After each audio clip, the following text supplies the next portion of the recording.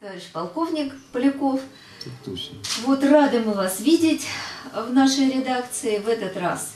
И как никогда, поскольку, насколько я знаю, вы прибыли в Кременчуг на 10 дней на ротацию. И после этого отправитесь назад, на фронт. Так точно. Ага. Значит, начнем с главного вопроса. Летом мы с вами встречались, я помню, война уже в Украине шла, я вас спрашивала, почему вы не в армии. И вот мы узнали в сентябре, что вы оказались в армии. С какого числа и где служите? С 4 сентября служу. Ну, батальон формировался под Запорожьем. Потом был пере- э, формировался как батальон Министерства обороны.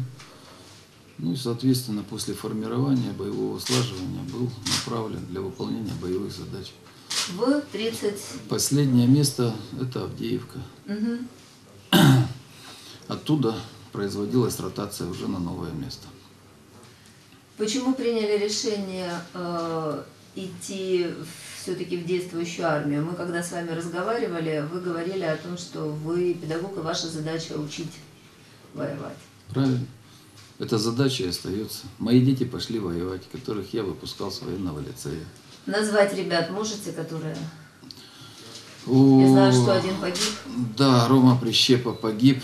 Э, Всех, да всех, Ну, конечно, всех нет. да, всех не назову, очень много. А вы говорили, с чьим-то отцом вы воюете сейчас. А сейчас я воюю с... э, А вот, кстати, на фотографии, да. Это самый тяжелый блокпост под Авдеевкой, который нам очень часто обстреливался. Вот с этой стороны, вот он. Это отец лицеиста, мальчика, который сейчас учится в военном лицее. Именно сейчас. Яковенко Олег. Хороший боец.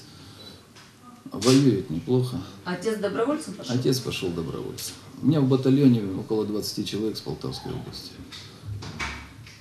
Так что есть Кременчуга, да. Добровольцы или мобилизованные? Добровольцы. Но мы все шли по мобилизации. То есть добровольцы, но шли по мобилизации. Поэтому, честно говоря, очень э, приятно было, когда я эту фотографию отдал мальчишке. Мгм. И он был счастливый видеть отца.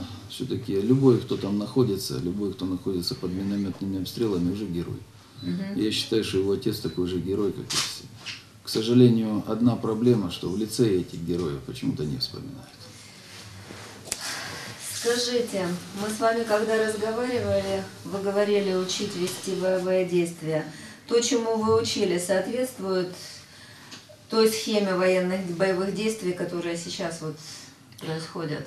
Уже нет. Это, наверное, одна из причин, почему я пошел. Мгм. Это, э, кроме того, что мои дети уже воюют, плюс э, новая война, новый опыт ведения боевых действий. Он абсолютно отличается от того, которому учил я когда-то в лицее. То есть то, чему вы учили, это войны былых времен, Все отбрасывать, устаревший опыт. все отбрасывать нельзя. Мгм. Все отбрасывать нельзя, но э, ситуация уже меняется.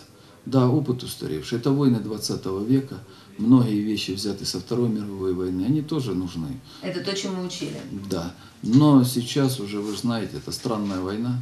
И, вероятно всего, эта странная война, она будет э, происходить не только на территории Украины, но тактику этой странной войны мы будем уже изучать как э, историю войн. То есть, соответственно, в высших военных учебных заведениях понадобится новая категория преподавателей, боевые офицеры, И не прошедшие высших, вот да. эту украинскую кампанию. И не только в высших, и в военных лицеях. Ну, не вопрос это. Пора начинать вводить офицеров, которые прошли именно вот эту кампанию. А вы каким-то образом вообще классифицируете опыт, э, то, что там видите, или не до того? Нет, э, обязательно собираю литературу. Какую литературу? А там есть методички различные. Что, Например, серьезно? убей снайпера. Жалко, я не привез, я бы показал вам. Убей снайпера! Потому иначе снайпер убьет тебя. Ну, то есть э, литература есть, и достаточно литературы, которая То можно... есть все-таки методички какие-то? Это удивительно. Это, Мы ну, слышим о том, что даже формы и довольствия нет, а тут вы говорите, методички распространяют. а, Есть, я, к сожалению, не взял с собой, может быть, когда-то там можно будет, я покажу это все. Я все это собираю. Это все будет необходимо для обучения детей. Слушай, Ну а формы удовольствия, ну как сказать, хватает Просто, опять же говорю, мы выходцы из 20 века, и система тылового обеспечения, она была построена на Вы опыте... зам по тылу, да? Так точно. Батальона. Да, и построена она на опыте прошлых войн. А сейчас просто меняется война, скоротечность ее и э, сама тактика ведения боя. И те, э, извините, сапоги ХБ, которое э, было у нас в советское время, оно уже не проходит. Это Здесь- правда, что осколки мин могут пробить ствол миномета? Не то, что Да, бронежилет. у нас раз, был разбит склад после минометного обстрела. Вот миномет Василек 82 миллиметровый. Тоже у меня где-то есть, ну, на фотографиях могу показать. Насквозь прошивается осколком мины ствол миномета. Кевларовый шлем и кевларовый э, бронежилет его не держат. Ого. Ну там скорость начальная, если у пули там 600 метров, то у него начальная скорость 1200, если не больше. Так что Так средства индивидуальной защиты называть средствами... земля, от миномета только земля, блиндажи. Блиндаж? Да. И землянка наша в три наката. Слушайте, а как ваши бойцы научились рыть такие профессиональные блиндажи? Когда по вам Стеночки стреляют, ровненькие. Ну, паника начинается, Нет. когда по вам стреляют. когда по вам перестают стрелять, вы понимаете, что надо закапываться в землю. Не, ну это красивый ответ, но все-таки я видела, вы показывали фотографии блиндажи, сделанные основательно. А Все блиндажи в зоне сделаны основательно. Есть специальная инженерная служба, они помогают в этом вопросе. Вообще бойцы сами делают. Мы часто получаем информацию от волонтеров и от бойцов, что если вот э, регулярное соединение там нормально относительно с довольствием, то блокпостов, на блокпостах, как правило, проблемы и с кухней, и с продовольствием, и со средствами защиты, водоснабжением и так далее. Там тяжело нести службу. На блокпостах, конечно.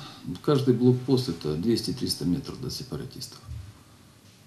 Поэтому всегда тяжело, когда почти прямой контакт. Вы их все видимость. называете сепаратистами, они давно уже стали противником, это война. Я знаю. Ну, уже по привычке, может. Сепары и сепары, есть сепары. 200-300 метров всего. Да. Прямой видимости очень часто. Так что э, подвоз, вы говорите, да, есть определенные сложности, но в целом вопросы всегда решаются. Э, ну, не бывает так, что все было идеально. Не бывает так. Но я могу показать, сколько продуктов находится у нас на блокпостах, находилось. То есть я сейчас говорю в прошлом, потому что я имею право говорить, уже батальон покинул э, свое место расположения. Это не является, так сказать, секретной информацией. Но там достаточно было продуктов. Да, есть э, сложности с, обеспечением вещевым. Э, в наших батальонах очень такой э, весьма пестрый социальный набор личного состава, начиная от предпринимателей. э, Что адво- действительно есть на войне предприниматели? Директор завода, 700 человек работает у него. Почему он пошел воевать? По той же самой причине, что все остальные добровольцы. Да. Разве у добровольцев у всех одна и та же причина? Мне кажется, да. Все пошли защищать Озвучьте. Украину. А? Защищать Украину. Но у него достаточно денег, чтобы он мог. Это классно. У нас на сайте, например, некоторые комментаторы пишут, вот в последнем материале, по-моему, комменты были по мобилизации, за что ему погибать, за бизнес Порошенко, бизнес Коломойского. То есть вы не считаете, что вы воюете за бизнес Коломойского или Порошенко? Все-таки Мы за Украину? За чей-то бизнес воюем. Но есть еще более высшие материи, кроме бизнеса. Ну, говорите свою любимую фразу. Какую? Родину защищать. Родину защищать, правильно. Есть такая профессия Родину защищать. Она была, есть и будет. Я думаю, она никогда не устареет, как и этот фильм. Офицер всегда остается офицером. В какие бы условия он ни попадал. А вот наш военком сообщает, что офицеры запаса не спешат являться сейчас на мобилизационный пункт в Минчуге. Ну, что я могу сказать? Офицеров запаса, как такие, офицеры не уходят в запас. Но есть люди с воинским званием. Это тоже две большие разницы. Самое тяжелое, с вашей точки зрения, как все-таки кадрового военнослужащего на этой войне? Самое тяжелое это когда она закончится.